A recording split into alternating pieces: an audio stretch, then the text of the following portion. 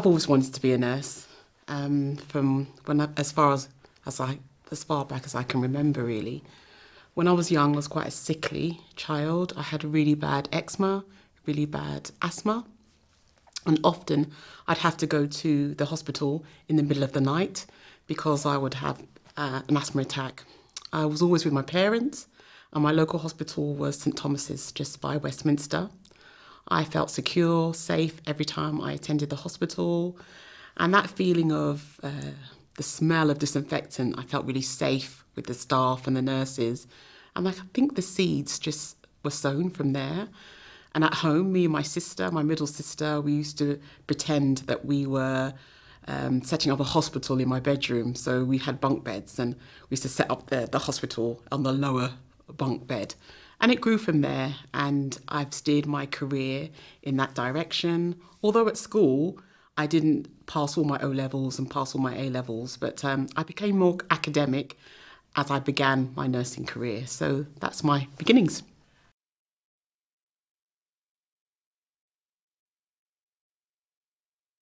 I have to say, my training was uh, relatively good and smooth. I was the only black girl in my set. I always wanted to go to the Middlesex Hospital. That's where I wanted to do my training. I remember driving past the Middlesex Hospital and I thought that's exactly where I want to train. And the Middlesex Hospital at that time in the 80s was very aristocratic. Um, if you were a person of colour, you didn't really get into those type of nursing schools. And um, but I was determined and I enrolled there in 1989. Um, there was an Asian girl in my set. We all got on particularly really, really well. It was hard, like most nurse training is, it's challenging, but it was it was good and I had fantastic mentors. There wasn't any black mentors, there wasn't many black nurses when I was training. So I looked to my to my white mentors and they were really, really good, really good.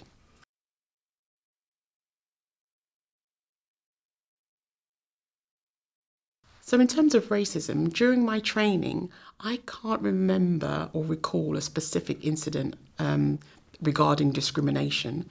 It was a very positive journey for me during my training. I was, I am always and was always cognizant that I was the only black girl in my set, and my Asian colleague. We were very cognizant of that. So we made sure that we were together. We relied on each other because there is a sense of familiarity and I think from the beginning, you always know that if you are a person of colour, that there are certain expectations, and you know that you have to work doubly or triply hard. It's just, it's just, it's just what's what's known and recognised.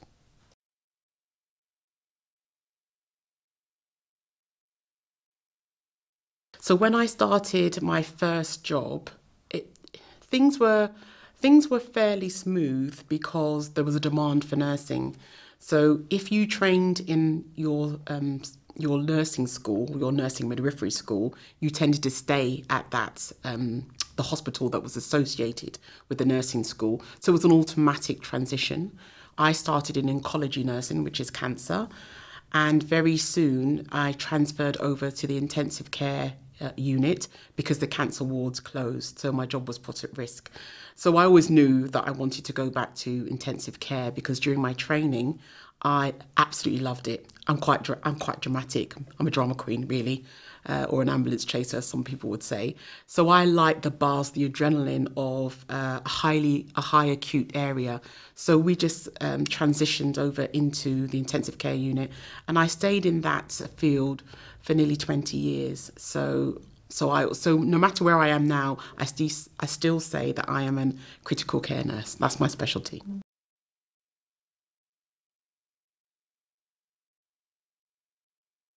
In terms of um, discrimination and prejudice, whenever I have experienced it, it's always been very very subtle. That's the nat- that sometimes can be the nature of discriminatory behaviours. They can be very overt or they can be very subtle. And um, from patients, sometimes it is quite subtle in that they may not want you to look after them. And sometimes they may tell you that explicitly or not. Uh, sometimes it's very explicit. and we've we've had there's been situations where uh, a patient may say that, and a, an organisation worth its salt will not tolerate those type of behaviours. And we uh, several of us have been in that position. And fortunately, we've been in organisations where they haven't tolerated that. In terms of other behaviours of discrimination, it's subtle. So it's subtle in you might not get the first interview that you apply for. It's subtle in um, the treatments that so so there could be scenarios that you are working your way through or experiencing and when you compare them to a colleague that's not black or not asian the way that uh, that, that scenario is particularly handled uh, for a person of color can be very very different and very challenging. So my experience of racism has been very um, it's been there but it's subtle and it's it's kind of underneath. It's not as blatant. Um, if you ask me, mo most of my experience of racism and discrimination is through other people. So I, so many people uh, come and see me or ring me or email me about their level of dis discrimination. So I often encounter it at that in that in that way.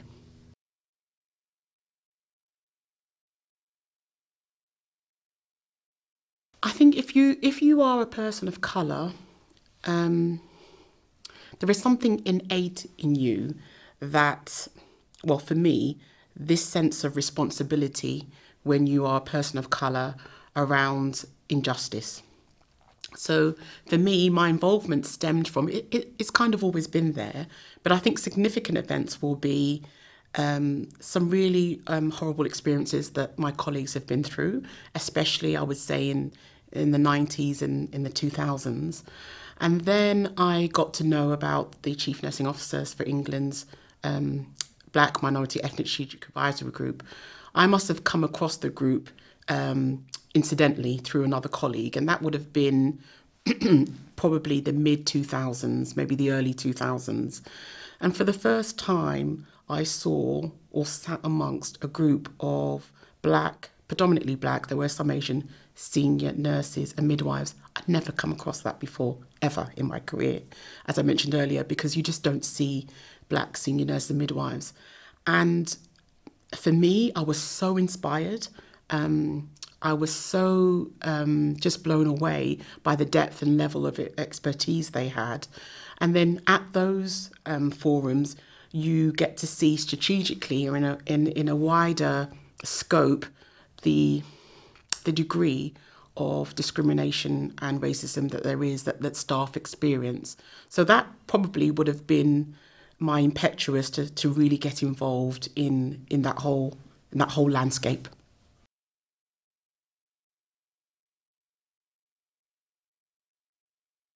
I've seen many colleagues that have experienced um, discrimination and, and prejudice.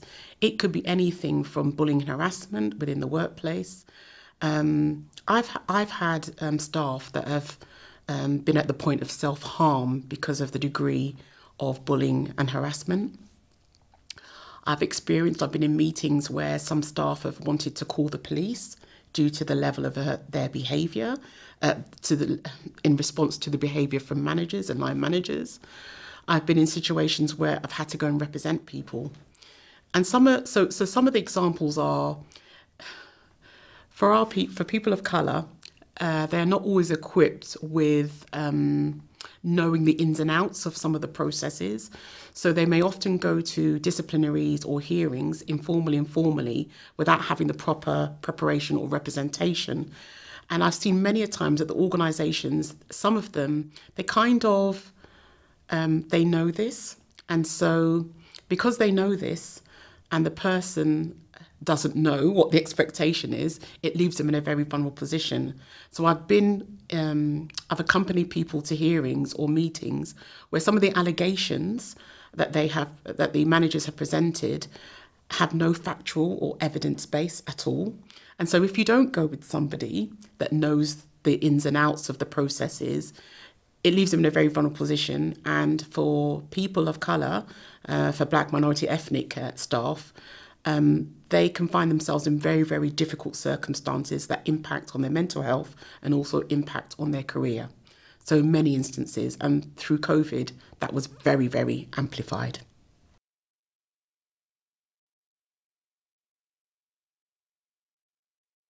So we've discussed some issues around racism. So some of it can be very blatant, some some of it can be subtle.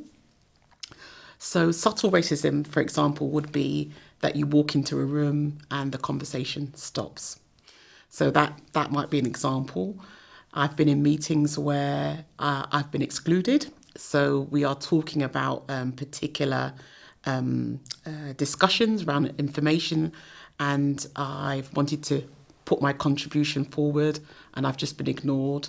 And then somebody else who might be junior to me is not experienced as me, uh, their contributions will be put forward instead of instead of mine. I've been in places where they've assumed that I am not the senior nurse. Uh, they get my name wrong and they get my position wrong. So, and you have to keep on uh, repeating who you are and what your position is. So, some of those are, I would say, some of those are some of the subtle racisms, as opposed to, um, I've been in situations where um, people will say, well, you may only be here because you're black, or um, sometimes people they talk about tokenism.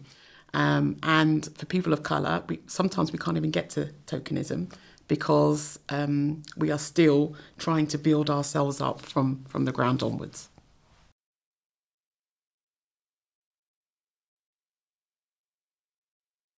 I'm from Nigerian stock. And so, in terms of how, do, how does some of these behaviours make me feel, I'm very aware of the impact of these microaggressions.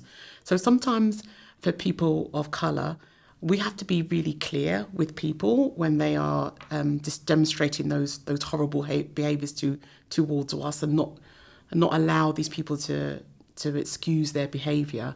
So I'm a tough cookie. I know that I have every right to be at the table. I know that I have to work twice as hard, as Yvonne Coghill says, to get um, twice as you have to work twice as hard to get half as far. So for me, it makes me stronger it makes me um, have that fighting spirit. And I know that there's uh, that we talk about failure, that failure kind kind of builds you up. And sometimes I have a, a low tolerance for failure because I've worked really hard to get here, and I have a I have a real responsibility to bring um, the people that, that follow me to my level and beyond my level if need be. So it it toughens me. It is it is painful at times, but I don't let the pain drown me because I'm on a mission, so I need to be moving forward all the time.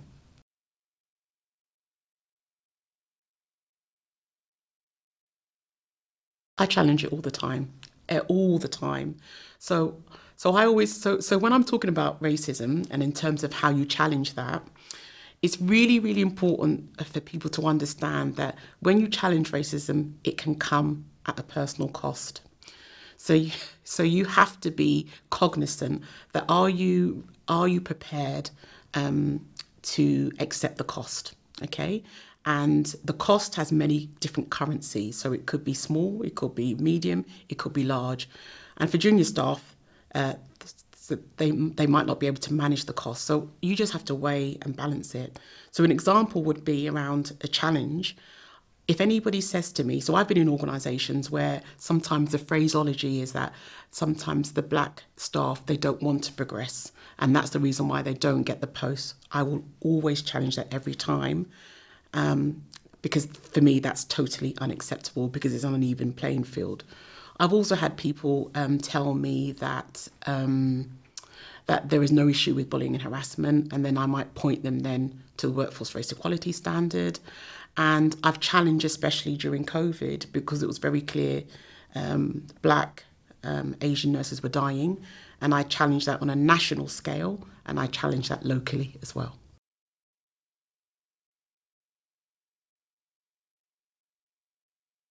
So during COVID, um, that was a, um, a horrible time. So, so many people say that there was it was a time of strength and uh, community and collaboration, but it was also a harrowing time. And in April, May, it was very clear that uh, black people, black and Asian, and the ethnic communities were disproportionately impacted by COVID. And I felt at that time that the system was very slow in responding um, to those concerns.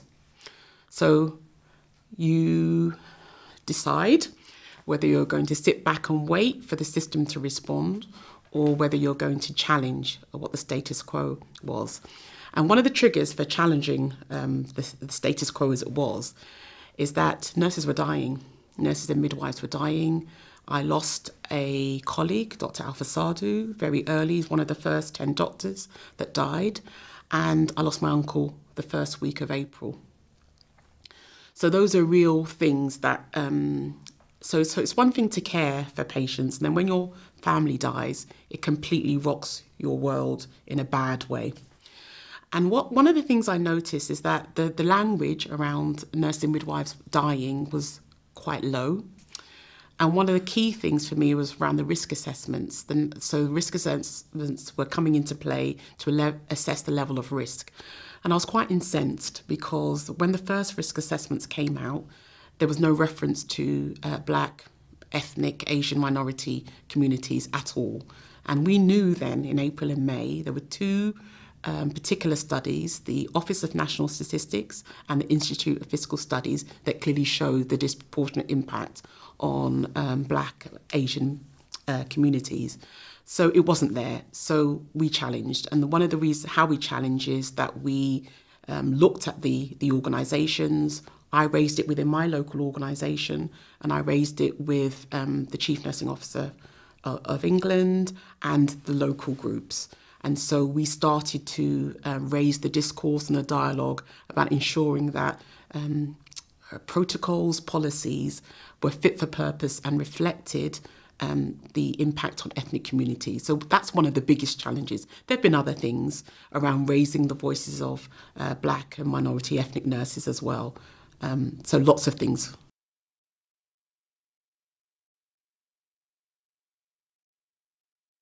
I think the re- response was a bit slow in the beginning, but it, it did take off. And then we started to see the system to respond. So the Faculty of Occupational uh, Medicine, they produced a national risk assessment that clearly reflected um, the issues around ethnicity. And then all, trust and organisations started to amend their local risk assessments to reflect ethnicity. I got a lot of calls and a lot of correspondence asking what does a, a good risk assessment tool look like? So we needed to, we shared some of our own, and then we also gave out advice around what risk assessments should contain in relation to ethnicity. And within more organisation, lots of nurses were ringing me and contacting me saying, Felicia, you know, uh, you know, I'm unsure, I'm not right. And then nationally, we had a lot of calls. And that's where we did a lot of our work nationally because lots of nurses and midwives were calling us to say that they were frightened and they were scared. So we had to give out a lot of advice. Sometimes I've had to contact another organisation to say, this is what's coming out of your organisation, that this needs to be sorted out. So those are some of the pieces of work that we've done. I, I, and I say we because this work is not done on your own. It's done with in collaboration and with teams.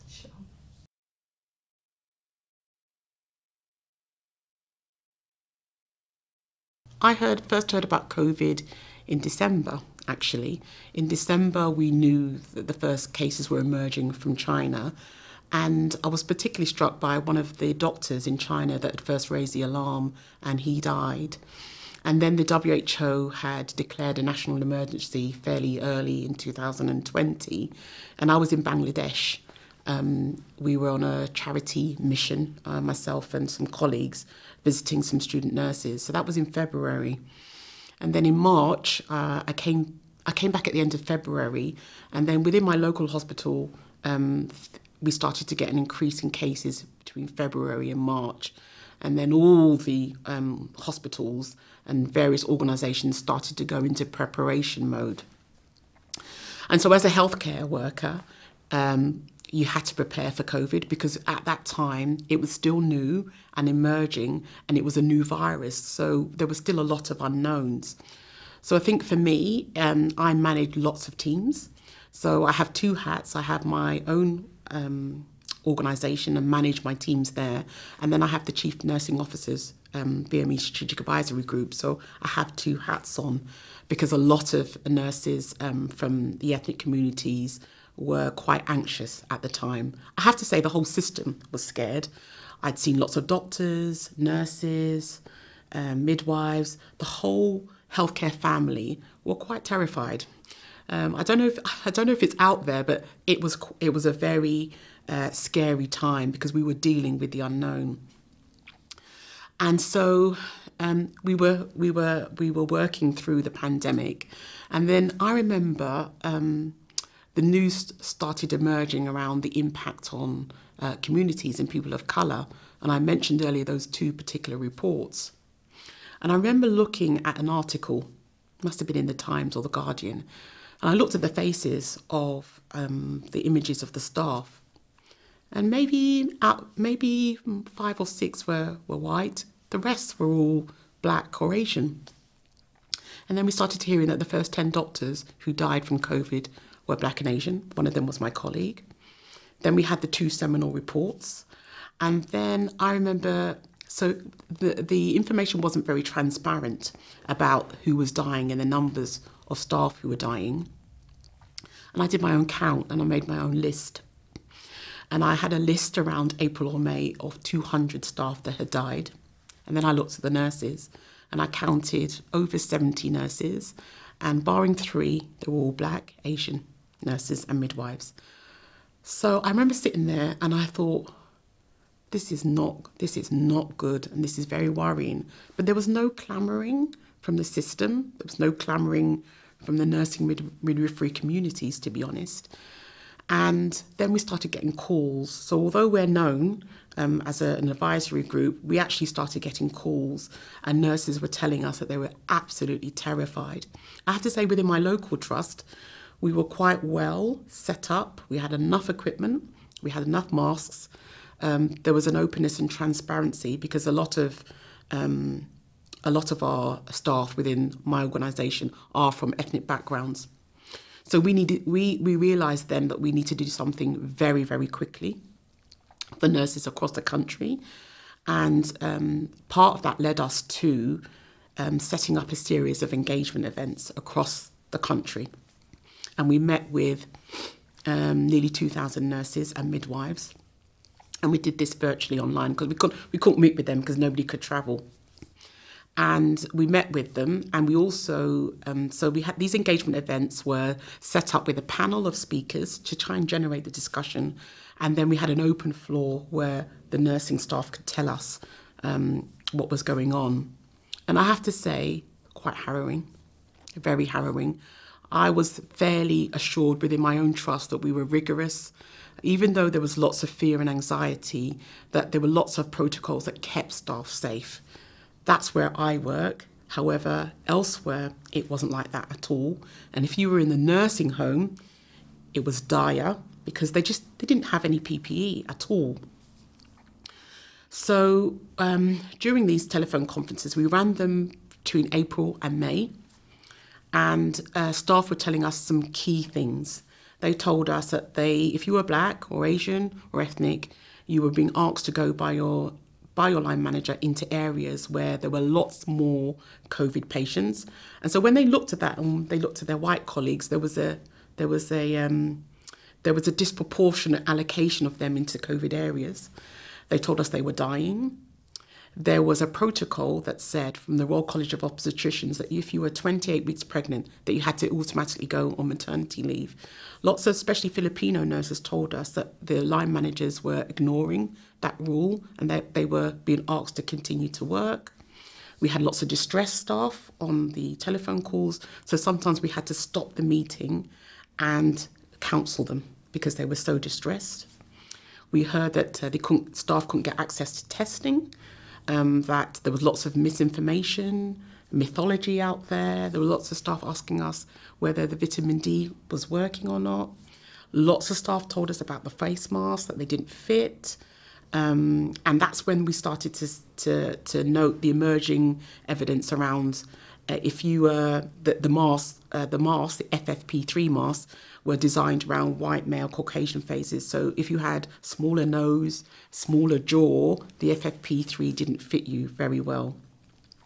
So this was the kind of themes that were coming out from the um, uh, from the the engagement events. So we did, I think we carried out, I think about eight, eight or nine sessions. And then after that, we had to sit down as a group and collate all the information.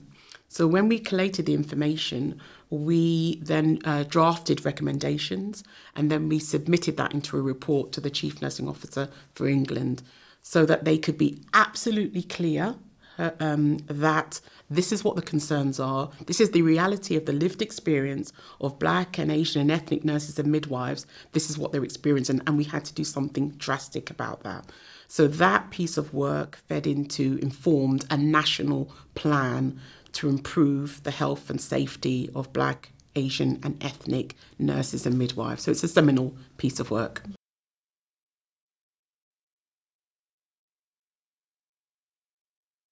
What does one feel when you're in the middle of a pandemic? And what does one feel when it's clear that nurses that look like you, as a black and Asian healthcare, a healthcare worker, are experiencing some really harrowing um, experiences and times? I, I still feel absolutely scandalous and scandalised that nurses died in high numbers and actually, the, the amount of nurses that died during this pandemic were are higher than the First World War. How how can that be? I, I'm still, I won't say gobsmacked. I just find it absolutely scandalous and disgraceful. I find it disgraceful that the voices of those nurses and midwives are still not heard. I find it disgraceful that nurses and midwives are still dying. So in February of this year, 10 nurses died. Seven of them were black and Asian. In particularly, the Filipino communities have died in terms of nurses in really high numbers. I and a lot of my colleagues were quite we're still traumatized. We're still traumatized, and I worry about the profession in that we've been through two waves now, and so a third wave might come in August or September this year, 2021, and we are all trying to recharge and cope with the pace of um, recovery and restoration of of going through a global pandemic. So we can breathe a bit now. But I was at, I was at church the other day and I became very tearful, and I realised that the trauma is just sitting underneath, and I am one of many that our trauma just sits underneath, because we've had to do things that we haven't done before there is a degree of moral injury. So, um, you know, nurses want to do their best. Nurses and midwives want to do their absolute best. And when you feel that you can't do that, that weighs heavily on your mind. I feel a sense of responsibility of carrying my profession and carrying all those black and Asian and ethnic communities. I, I, it weighs heavily on me. So, um, in after the first wave, I didn't sleep for four to five months. Um, I just couldn't sleep, and many of us couldn't sleep because the things are just churning in your mind. The rate of death was really quick. You turn your back, and the patient had died. It was that fast for some of the patients, and a lot of my nurses, and they, they were traumatized by that. We're, we're used to death. We are used to caring for patients because that's what we're here to do. But the pace was really, really fast. So a lot of us, and I say us as the nursing and midwifery family, we're traumatized. So we function, of course we do, and I think there's been a lot of um, resources and support um, put into to helping us, but we're traumatized. I still feel traumatized, but we function. Yeah, we function. We do our best, um, but it's uh, it's been it's been quite harrowing. I think the things that have got uh, got me through and my colleagues through is that sense of teamwork, um, we prayed long, we prayed hard. We, um, the chaplaincies were just fantastic, and we needed that. I think if you're in a good structured organisation, you've got good chief nurses, good chief executives, and the rest of the teams, it makes a difference because they are, you know, they've got your back. But for many of my colleagues and many of people, many nurses and midwives I don't know, they didn't have that um, and they are still dying. And that is not acceptable. And we don't have the transparency to know the numbers. We think the numbers, so we know, well, approximately, we would say that uh, 3,000 nurses and midwives have died globally. I think, I think it's much more. Here in this country, probably several hundreds, and probably maybe 200 nurses and midwives have died. We're still not talking about it. It's not in the public discourse the amount of nurses and midwives that have died, and specifically black, Asian, and ethnic minority nurses and midwives died. So that weighs heavily on me. And that's how I feel.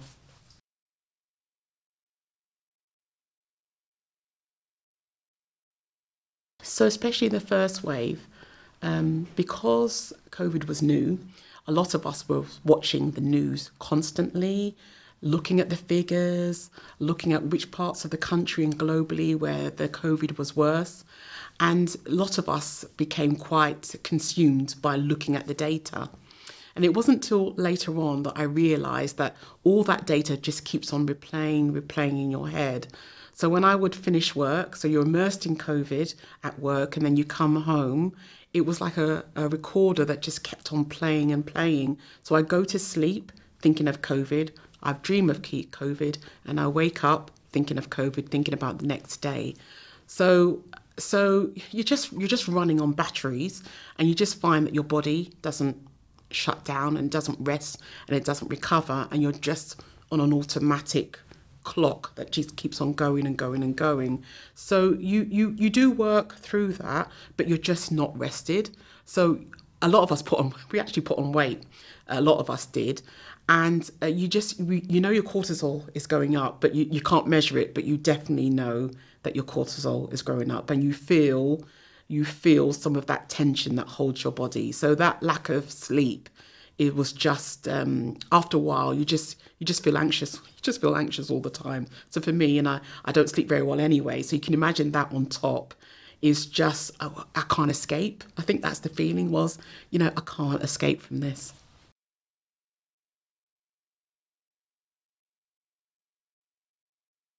So in my role although I'm managing uh, um, a division I, for me, part of my credibility is making sure that I'm a hands-on, and, I, and I'm an, an intensive care unit nurse by by background. So, especially in the second wave, I was just basically on the floor. So I spent a lot of time on the wards because we had loads of patients. So a lot of our wards uh, converted to COVID COVID wards, and the staff were were, were exhausted. just been through a first wave, and then the second wave came fast and furious. So I spent between December and March uh, basically on the wards. So most of us didn't stay in the offices. We were out there working clinically and supporting our staff.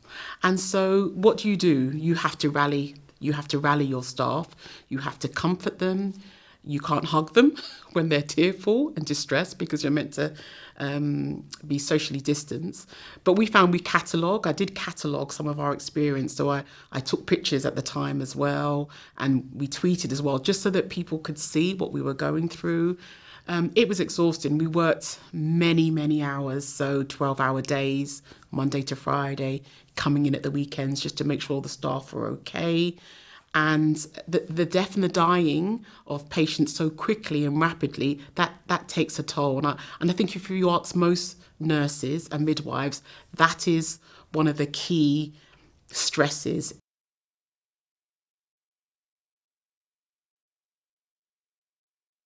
When you're nursing in tough times there are there are many things. I think there are there are many uh, stories there are many accounts of care that are memorable in your whole career for me, during COVID, uh, there would be a few.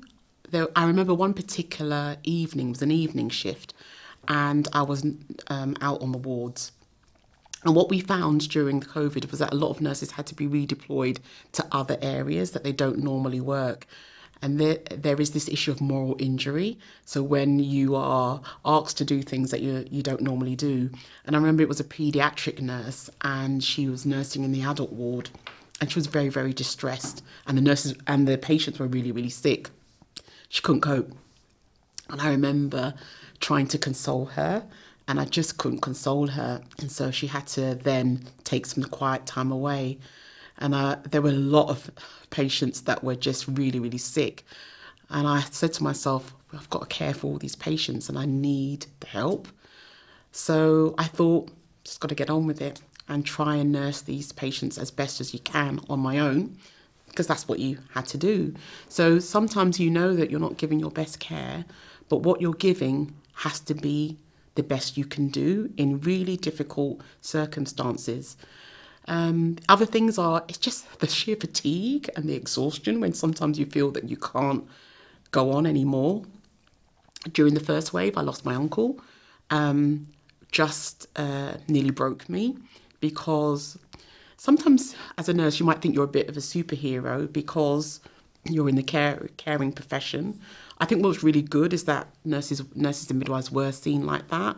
But when you are caring for the sick and the dying and then it happens to you, it took me it completely rocked me. I was I just didn't know where I was for for I just didn't, I just didn't know where I was and I just didn't even know how to think, how to feel, and yet I had to go back to work and function. So that really shook me.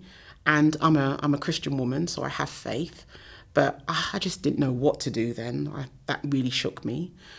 Other things that shook me were in the second wave. Um, I remember a week in February, uh, nine nine or ten nurses died, and I have to say I was really really hesitant to take the vaccine.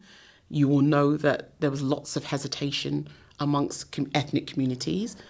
And there was a there was a lots of news made about um, hesitancy, but actually there were lots of other communities that were also hesitant about the vaccine, not just ethnic communities. So I was hesitant for a number of reasons, and I remember in that first week of February those ten nurses dying, and seven of them were from ethnic communities, and I said to myself, you know what, Felicia, take the vaccine.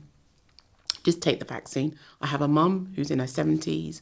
I have family responsibilities, and I don't want to be um, part of. I just don't want to be a, a, nurse or a midwife that, that dies and be part of that. It's distressing enough, and I just I just didn't want to do that. And it reminds you of your own mortality when you're amongst that. So I just took my vaccine, and um, and and I still think. Um, I'm still sitting here, still standing here, still being able to work, and I didn't catch COVID and I was immersed in COVID. Like many of our colleagues, we were immersed in COVID, and many staff got COVID. Many staff, and I sometimes I still find it unbelievable why, why we're not talking about this. Many healthcare staff got COVID. Many nurses and midwives got COVID. Many staff died from COVID. So I'm very, very grateful to be sitting here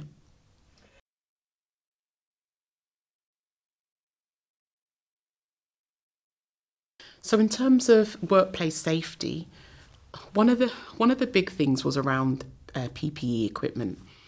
It was it it was clear in the first wave that there was insufficient PPE equipment nationally, though some organisations had sufficient supplies. So for me, it's really important that that should have been standardised across the whole country, across the different settings, that there should have been sufficient PPE. And actually, there should have been real strong efforts that if the PPE was in insufficient, that staff were properly risk assessed. And so, whatever setting, whatever industry, as a healthcare worker, the, the issues around staff protection should have been first and foremost, and it wasn't. So your level and degree of perfection, uh, your level and degree of uh, protection, if you were a healthcare worker, was very varied depending on the industry and depending on where you were within the country. So that should have been absolutely paramount. I think also that clearly when the concerns were raised around the disproportionate impact of COVID on ethnic communities, that should have really been nationally uh, recognised by the government and really stringent efforts made um, to protect um, those uh, those those groups of staff. So a lot of groups of staff were asking us that um, should they even be exposed to COVID uh, patients and communities if you're from an ethnic background, and a number of organisations said no.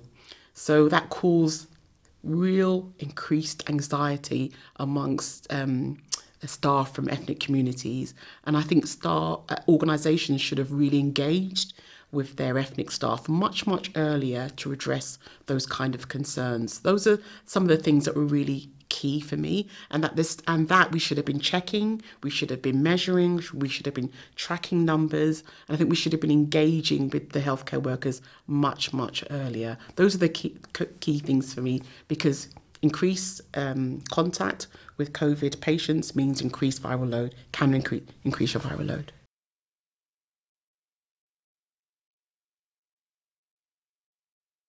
So PPE was a, a real worry, um, and a lot of staff uh, told us about their their anxiety around the lack of PPE.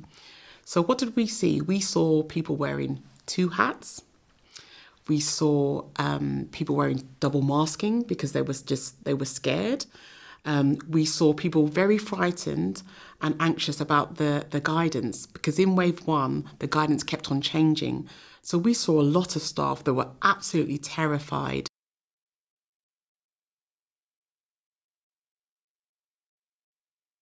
I think if you were in a hospital, I think staff felt much more safe because it, you have more of a structure.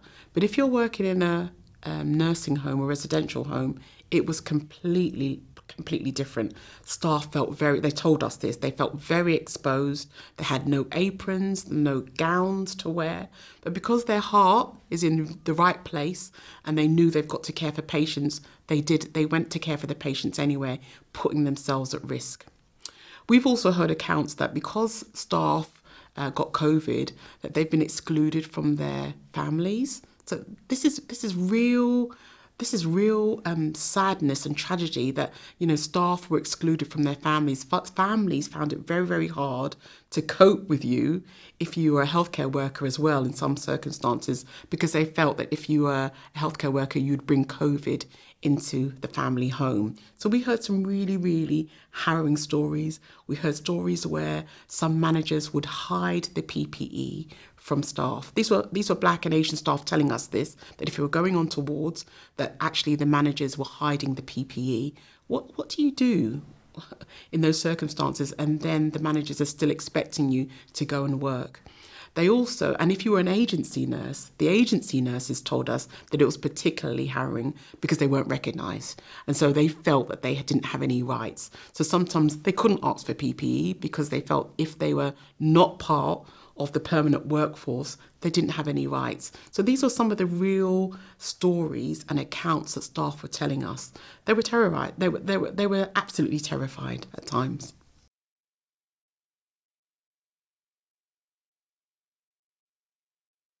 So during the pandemic, especially in wave one, we had many staff that told us that um, they were they felt unduly pressured um, to to go into those COVID areas, whether they were in nursing homes, whether in hospitals. We heard also accounts that staff said that uh, they were being threatened with their work permits to be revoked during that time as well. We had several of those, and several of the staff said that they couldn't challenge the decision because if they challenge a decision, they will be faced with disciplinary, bullying, harassment, um, lots of other HR uh, processes. So that was a very real experience, lived experience for some of the staff. And the staff felt a pressure that if they didn't go into some of those areas as well, that um, they would have a poor appraisal, um, that they um, their career progression also would be impacted. So that that was very very real, and several staff told us that.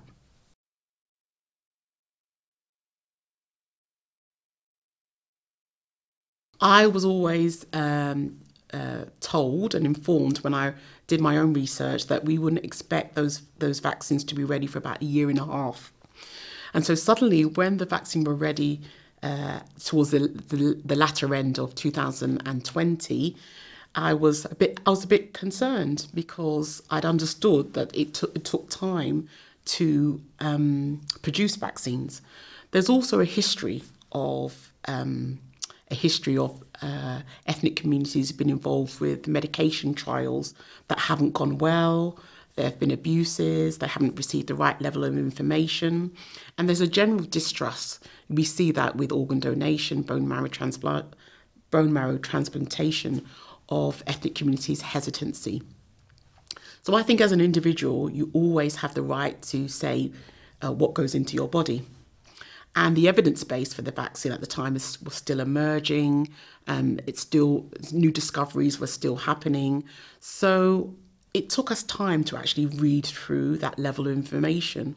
So I was hesitant. I, I knew that I would probably need to take the vaccine, um, but the, the the timeline for taking the vaccine, I was just I just wanted to make sure that I had a real informed decision and I didn't feel pressured by it. There was also something about um, we were feeling pressure that as healthcare professionals we had a kind of a moral, ethical duty about taking the vaccine. But we as healthcare professionals, we know what ethical and moral uh, duty is. We know that because we're in the profession. So for me, it was really important for me to understood understand all the theory, all the evidence base, and to make an informed decision um, based on that. And in the end, I made the decision to take the vaccine because I'd done my research my um, my uh, history, if if you like. I'd spoken to my priest, I'd spoken to my local virologist, and then you look at what's happening around you, and you're working in a COVID. Um, you're working in a COVID environment, and I have to say once again that having nurses and midwives die in high numbers was really was really the thing that cemented it for me.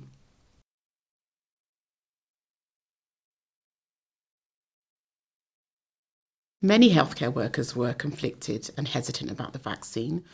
I think most of it was around the newness, but there was also lots of mythology, um, all these controversial theories, lots of uh, news stories on Twitter and on YouTube. So there were lots of conspiracy theories as well. I think also one of the key things for me is that if the system had made um, had paid more attention to the disproportionate impact of COVID-19 on ethnic communities, if they were, if they paid much more attention, put some real tangible actions in in the first wave, um, that may have impacted on the level of death and uh, contracting the COVID as they have done with the vaccination, I think we might have been having a very different level of conversation because we would have built up a lot more trust. There would have been a lot more evidence base out there, and the system needed to do a lot more preparation. I think it's very clear that ethnic communities have that degree of mistrust with some of um, these processes and protocols. So you needed to have put an effort in fairly early. We knew that we were developing the vaccine, so it should have started maybe September, October, November, December. Blam, the, the vaccine came in December, and suddenly people were expected to take it.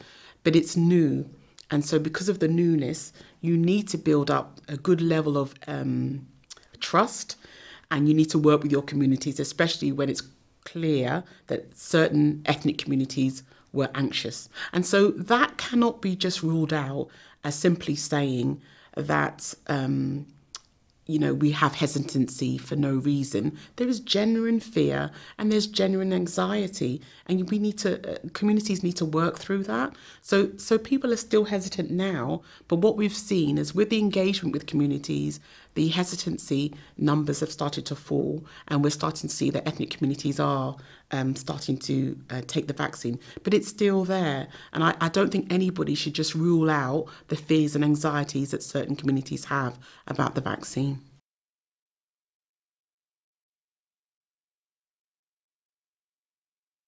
we have heard some records and some incidences of staff feeling pressured, um, be it black and minority ethnic staff feeling pressured to take the vaccine in some organisations. I think what's what's good is that it hasn't been made mandatory, and I think you know staff should should have the opportunity to make a really informed decision. So uh, what what's been good is that Simon Stevens, um, the chief executive of the NHS, has been very clear that it's it's not mandated, and that what he would like to see is for staff to voluntarily uh, take the um, the vaccine. So when we've heard those records and those reports from staff, we've been very clear to support staff to go back to their organisations to say that they shouldn't feel pressured, that they need to have the right level of information, and that sometimes we've had to step in and support staff. Um, um, you know, at, at local meetings, but generally, because it's not ma- mandated, there is a pressure. But I think we've we've been very clear as a group that it's not mandated. Just make sure that you've got the right level of information. We've done a lot of work with our nursing and midwifery colleagues to, to support them to make that best decision.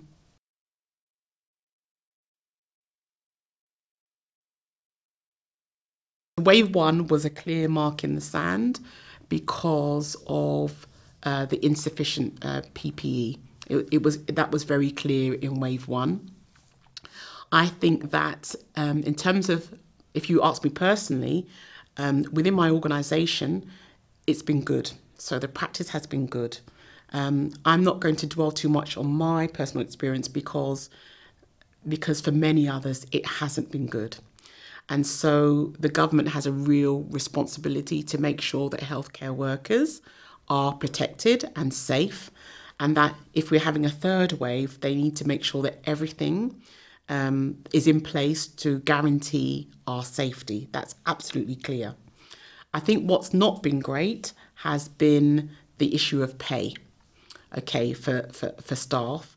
And um, the recognition of our the part that we've played. So it's so it's okay to say thank you, and it's okay to acknowledge that the toll that it's taken. But when then the profession has a pay review, and then the pay review comes out as one percent, that has and, and we're struggling with nursing midwifery numbers, and we're struggling to retain um, staff in the midst of a, a global pandemic uh, that has just been very, very disheartening and very, very disappointing.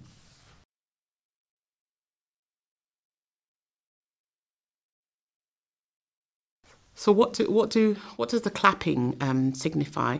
I think well, it was started by a nurse. I think in Europe, um, somewhere in Scandinavia, and at the beginning, I think that that lifted us that lifted us up. So I can remember being sometimes coming in at home, and then my neighbours would be clapping, and I think that did a that that was a real boost for us. I think so because for many years we've been trying to raise the profession of nurses and midwives within this country and and globally, and yet sometimes we're seen as the we're not seen as as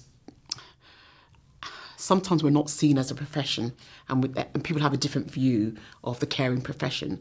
So I think it, it highlighted the impact of uh, the profession um, during a global pandemic and it certainly highlighted the role of nurses and midwives like it's never done before. So it has a, a part to play. I think when you're exhausted, the clapping gets you to a point um, but, uh, but but but when you're absolutely exhausted, sometimes you might you might not hear that. So I think I think it was a real morale booster right at the beginning, definitely without without a doubt.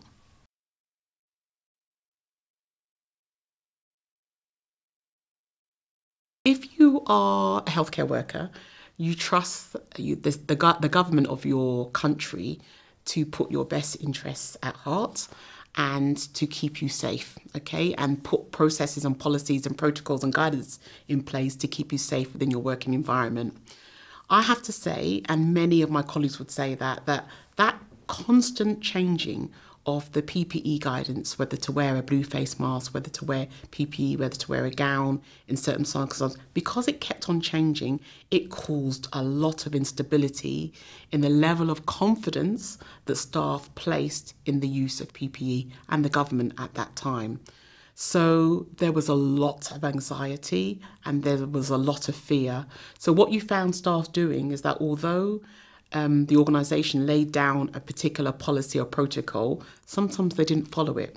So, save, so I'll give you an example. You may only need to wear a, a blue mask in um, uh, an area where there were not were where there wasn't any aerosol generating procedures. So, say a patient that had a respiratory infection that was low level, you'd only need to wear the blue face mask. What we found is that staff didn't trust the blue face mask and that they would automatically go to an FFP3 because they just didn't feel safe. They didn't trust that the guidance was keeping them safe and well and free from harm.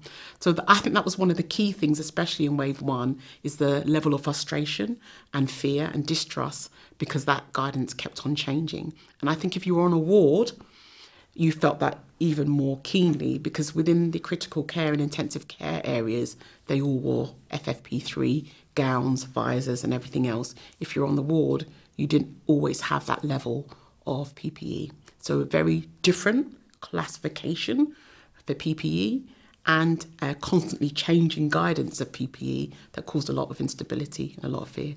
And I would say that across the healthcare profession, not just nurses and midwives, doctors, domestics, therapists, it was across the whole range of disciplines.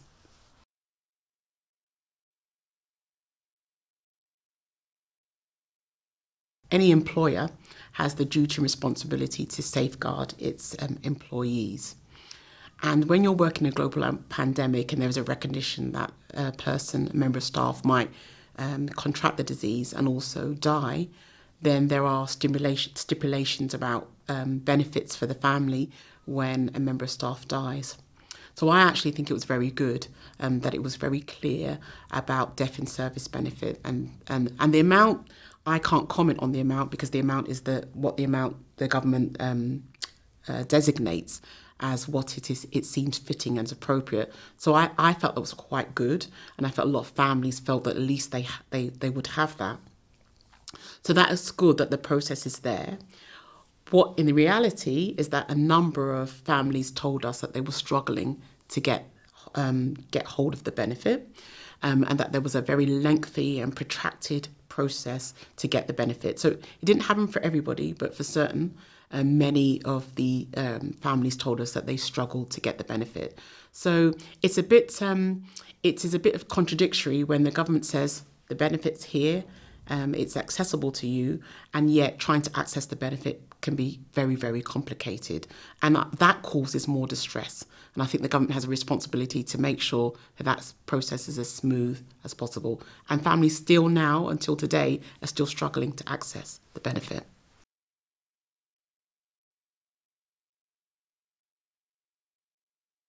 Sometimes it's the whole forms.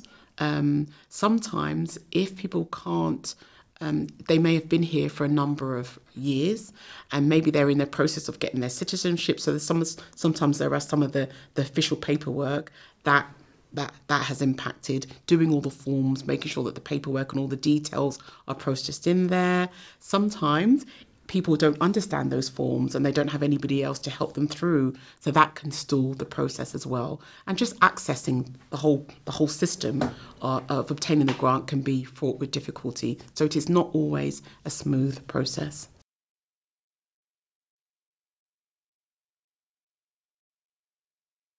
I've also heard accounts where um, families have been asked to prove that their loved one has died from COVID 19 and so that can be challenging when it's quite clear that they have, and yet some of employ some employing authorities have made that quite difficult.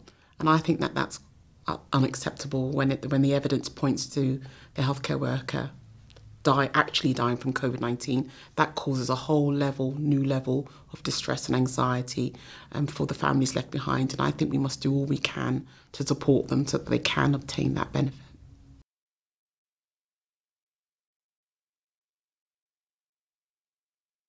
The death of George Floyd, May the 25th, now coming up to the year's anniversary, it distressed a lot of us. Um, I can remember a lot of us being very, very tearful about his death and uh, a level of anxiety, a level of um, anger, a level of frustration, a level of how many more uh, black people and black men can they kill, um, a level of surprise because actually many uh, black people are killed and murdered um, unjustly and we, we, it's never captured.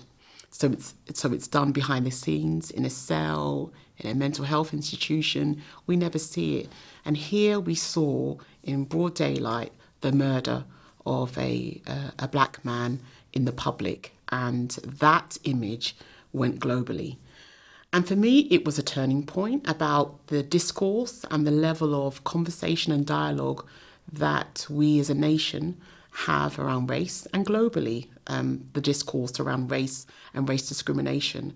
And I felt, and I still feel, it's an opportunity for us to try and get things right, try and get things better for people, for communities, for healthcare workers, so that we can kind of triangulate his George Floyd's death the issue about health inequalities, and then the issue around uh, discrimination and the, the, the, the, continuous problem of black and Asian and ethnic staff trying to go up the career ladder.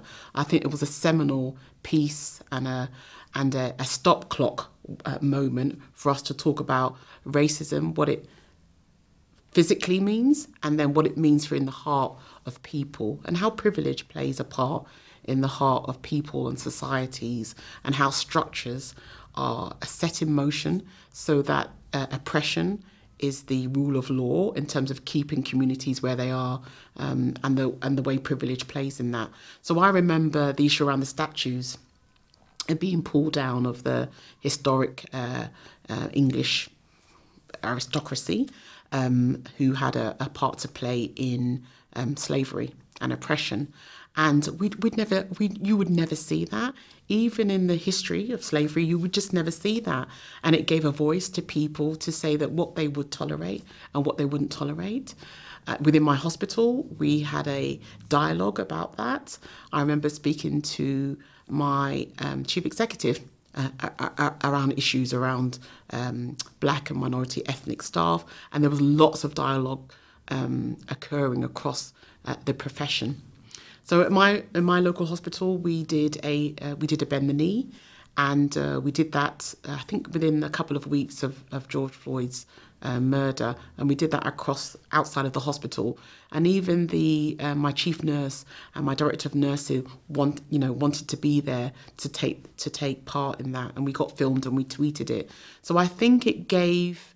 Um, it, it gave, I think it added to the permission of protest, uh, peaceful protests. We saw the protests across London, and it just raised, it just raised the voice. And I, I, I think we shouldn't wait, we shouldn't squander this moment because we need to kind of really address the injustices that people have and go through you know every day of their life so and and I remember looking at that uh, George Floyd's murder and then we had Breonna Taylor um, the the ambulance uh, the healthcare worker that that was shot in her in her apartment.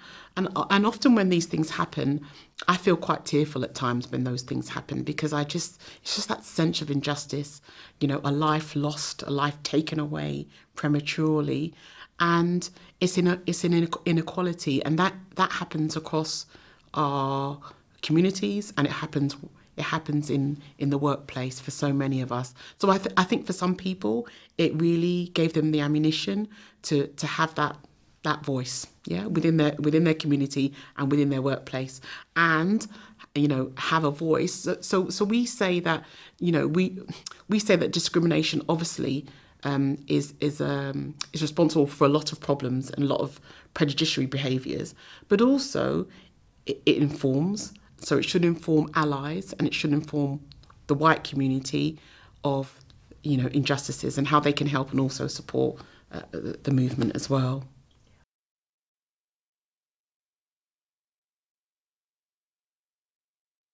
The issue of racism within NHS has definitely got worse. I would say that because I looked at the staff survey from 2020. I think the report came out in February, March, and um, we have nine protected characteristics. So that includes um, race, includes gender, sexual orientation, age, etc., etc. And I looked at um, the issue of race, the the, the race um, standard, and it has worsened. So staff are citing that out of all the nine protected characteristics, racial discrimination is their worst experience. And then I looked at the figure from 2019 to 2020, and it has worsened um, in terms of a, an increased percentage. So that that's that's a beacon, that's a mark in the sand that clearly tells you that the lived experience for staff is that discrimination, racial discrimination, has worsened.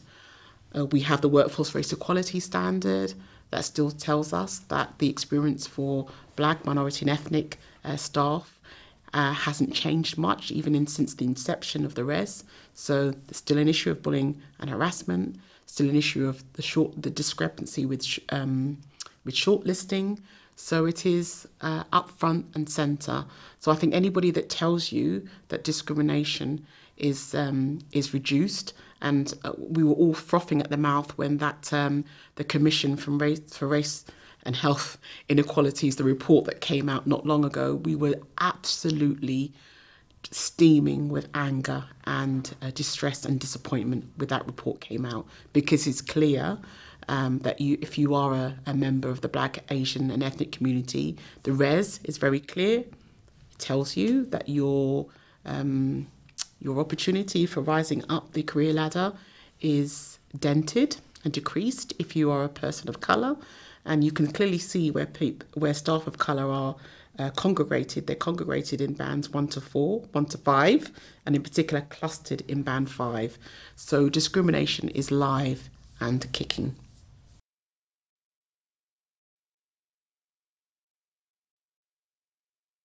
I've had a couple of hindrances, but I've been able to um, escalate up the career ladder. I am. Um, most of that is around my background. Uh, my dad was very strict, he's a disciplinarian, so I always knew that I had to strive to be the best and I have to be able to manage and address any failures.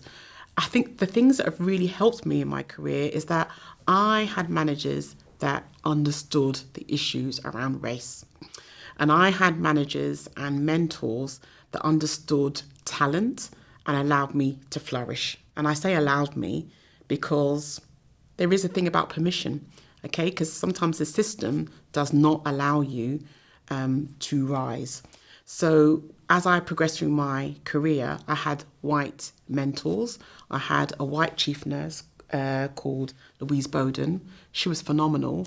She made me, she formed me because we would have discussions about race. Um, I spent a lot of time with her and she understood my talent and just cultured it and wouldn't allow me to rest on my laurels. Um, there were no black and Asian directors of nursing in my time, so I couldn't look around to see who I could emulate because they weren't there.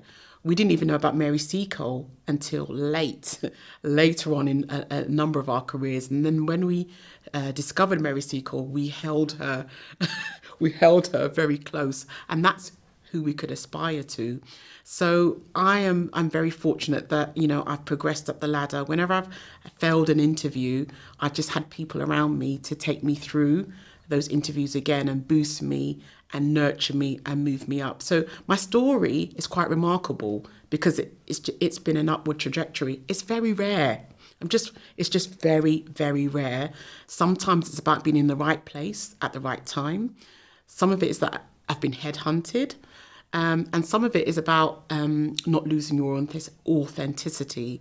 So, whenever I've been in an organization or in a department, I celebrate my blackness. So, if I'm the only person there, or there's two or three of us, I celebrate the blackness. And we tend to um, work together and feed off each other and support each other because if you don't, there's not, you know, the others might not look out for you. So it's really important for me that when I see my black or Asian colleagues, that sometimes it's an insensible thing. You just make that connection because you're in the same boat, you understand the same pressures.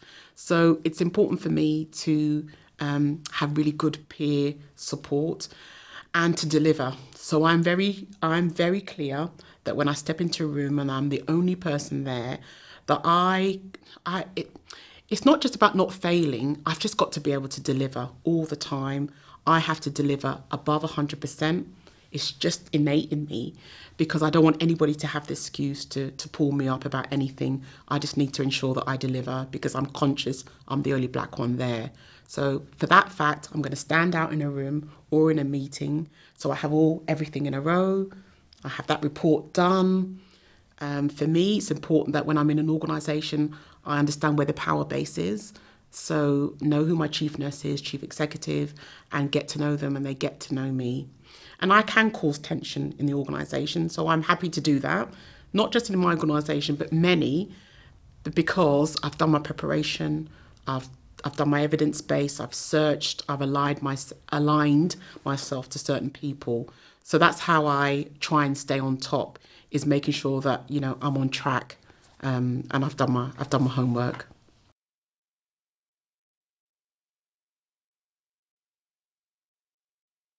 I've been nursing for nearly 32 years now. The best job, I would say, is when I was a matron at UCLH at the Heart Hospital. I loved every single minute of it um, because I had it's my own hospital. Uh, the team were absolutely fantastic. It was my first senior nursing post. And so that comes with a level, a lot of responsibility, but the teamwork was amazing. Um, we led services, um, cardiac services across the whole trust. And the, the Heart Hospital at the time was like a beacon of fantastic practice. And um, you know, it was just a sense of community. I think we've got such big hospitals now and organisations, you lose that sense of community. So because it was one site, there was a great sense of community. We we're all geared up towards looking after patients and giving the best care that we can. Um, so for me, that was, you know, being a matron, you know, I, I, just love it. You know, when the patients, you go around and they say, who are you? And you say, you're the matron. And you can just see the patients, they just have that sigh of, it's the matron, everything's, everything's going to be fine. So that, that has a real sense of pride for me. Uh, another pr- uh, proud moment was when I got the OBE uh, last year. Um, and and even beside that, I have I have many proud moments that might seem simple to some people when you're mentoring somebody and then they get that job. They are they are they are proud moments for me. So there's you know there's all of those uh, moments that boost you up and just give you a sense of real satisfaction. But the the OBE was a um, a real sense of celebration. It was kind of difficult because I was in quarantine during when I when I got it. I just come back from holiday. Um, so it was a that that is a that's probably a pinnacle for me. But I say this about the OBE that although it's a very very proud moment for me, it came at a cost, and the cost was that lots of nurses died. Lots of nurses and midwives died, especially from black minority ethnic communities. So the OBE is not just for them, not just for me, it's for them. Um, that that's what it to me. That's exactly what it's about. It's for them, and the work that we did, and I say we, I always say we because it was a team effort with the group and the regional leads, is that it came at a cost, okay? And um, I just, I just hope and pray that we don't go through that again.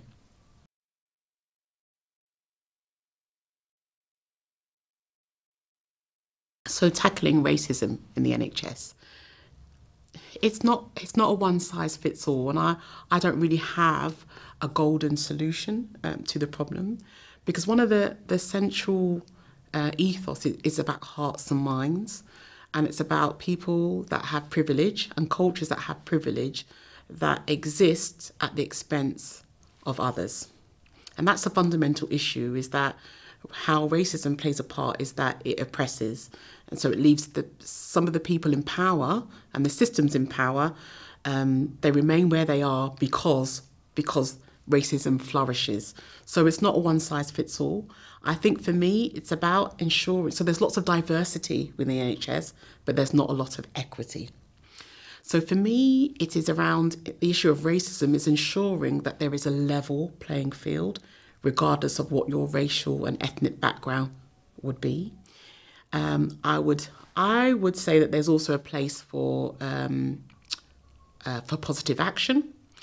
I would say that um, that the issues of racial discrimination should be written into the board assurance frameworks of organisations, and that there is a uh, a cultural and a physical um, demonstration of implementation of those policies and processes that actually make a difference to people's lives, that they feel it, that they tell you um, that it's that's a lived experience. So when you're measuring whether you are making an impact in terms of racial um, equity, that actually it's the people that inform the organisation that what they are doing has made a change.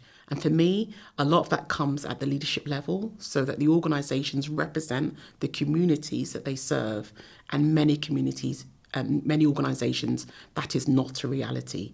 So people, you know, if you're trying to, and it's very clear because the evidence shows that the, the barometer of a, a really good and well performing organisation is the satisfaction of its ethnic community workforce. So I still can't understand why organisations aren't really chomping at the bit to ensure that that happens, and they don't. But that, so if you care, you're really committed to caring for your patients, then it's really incumbent that the that the staff that are delivering that care are nurtured, they feel loved, well taken care of, educated, supported, and developed. And so, if you don't get that right, then that's how has a direct deleterious impact on your your patient population. So it's about leveling the playfield and it's about having the courage, organisations having the courage to accept that racial discrimination exists and then what then what are the actions that they're going to do to change it.